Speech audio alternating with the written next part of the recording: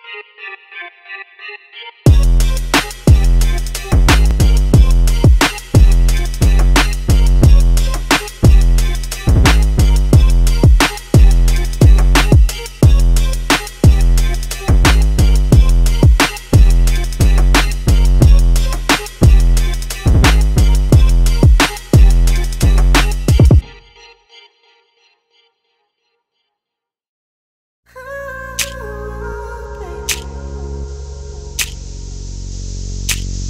Kawan baik, pagi-pagi kita udah meluncur dari Jakarta mau ke Jawa Tengah, tepatnya Tegal.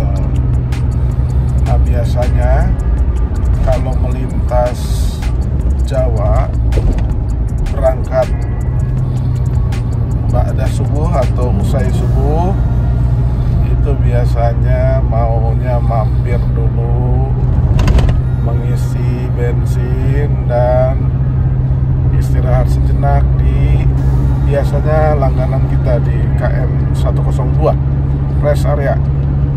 Di situ biasanya kita ngangetin perut makan soto kudus sama ngopi sejenak. Nanti kawan baik ikuti soto kudusnya seperti apa yang pasti menurut saya sih enak sekali.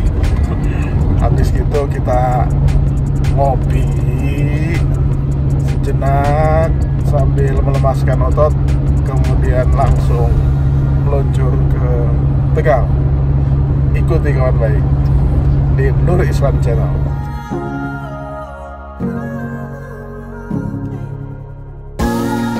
Kita sudah memasuki area res area berapa?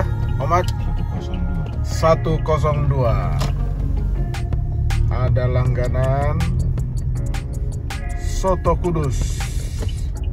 Biar perutnya hangat.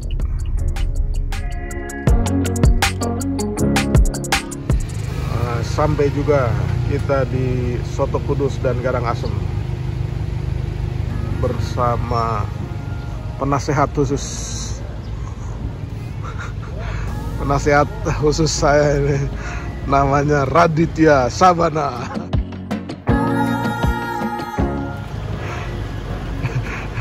kantuk dit Alhamdulillah Pak, seger Pak. seger ya Iya.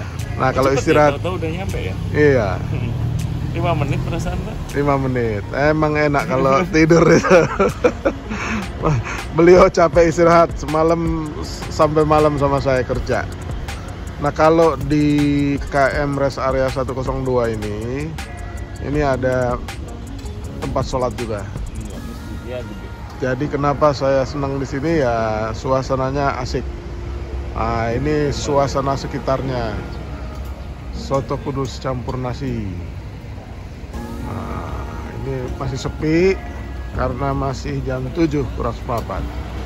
Sebelahnya ada gudeg Jogja. Yuk Semi. Ada Alpha Express. Nah, gitu.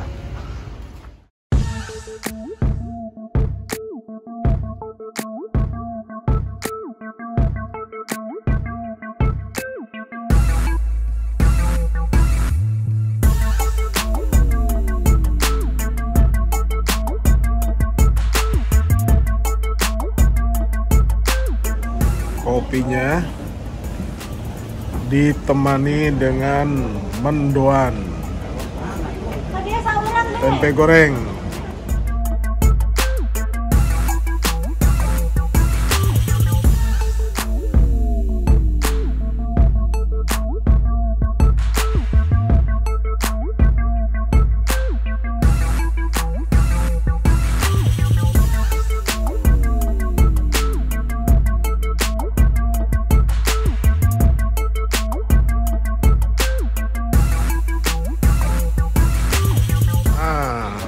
itu pakai pakai apa mas? Ini pakai jeruk nipis. Pak. Pakai jeruk nipis. Itu soto kudus ayam apa soto apa itu? Ayam Pak. Ayam. Ayam Pak. Isinya apa aja? Isinya ini ada ayam, kemudian toge, Terus? nasi dan bawang bawang goreng. Waduh. Terus pakai bumbu itu tadi. Pakai bumbu itu apa? Ini apa ini Pak? Nggak tahu, Dit. Saya Oh, ajak penasehat khusus Nuriswan Channel ini nyobain soto kudus. Nah, itu pakai apa? Ada Itu kecap Pak. atau sambal? Sambel Pak. Oh. Sambel. Sambal. Cuman saya ngambil atasnya aja Pak, biar kalau pagi-pagi nanti perutnya konstruksi. Oke.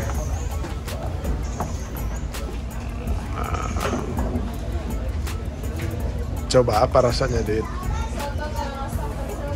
Coba. Tenang, Dit. Ente harus kayak eh, chef nyobainnya tuh santai.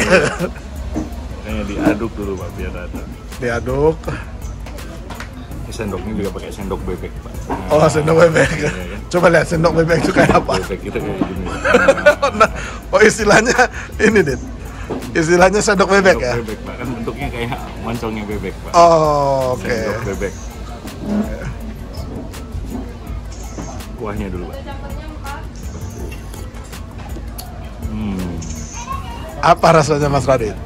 rasanya rasa soto Pak. Ini sampean pertama kali atau pernah ke sini? Pertama kali ke sini. Pertama Iya. kali. Berarti berkah Nur Iswan Channel Kan nulis One Channel Pak. diajak ke sini, ya kan? Ke sini ya. Udah perjalanan cuma 5 menit. Dari Jakarta cuma 5 menit. Karena begitu masuk mobil bisa langsung tidur.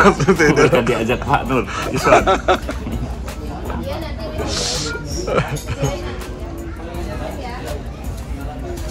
Rasanya otentik Jawa Tengah. Otentik Jawa Tengah ya. Waduh. Karena dulu saya pernah tinggal di Semarang jadi tahu Oh. lebih kurang. Oh, sampean pernah di Semarang ya? pernah Pak. Oh, jadi udah udah pernah ngerasain soto kudus Udah ya? Pernah ngerasain. Tapi soto kudus di rest area 102 ini Dua. belum pernah. Belum pernah Pak. Ah, ini bisa jadi langganan sampean loh. Boleh Pak. Jadi kalau lewat mampir nanti udah tahu tempatnya. Depan masjid. Depan masjid. Iya. Rest area 102. Oke.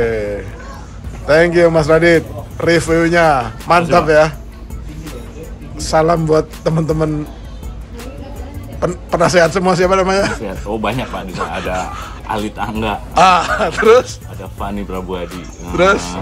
ada lagi Akmal Suryadi. ah, itunya apa? Eh, mentornya siapa? Seniornya? Mentornya Eko Agni Andrian. Ah, harus diajak ke sini semua ya? Boleh itu harus direkomendasikan semua Pak. Oke.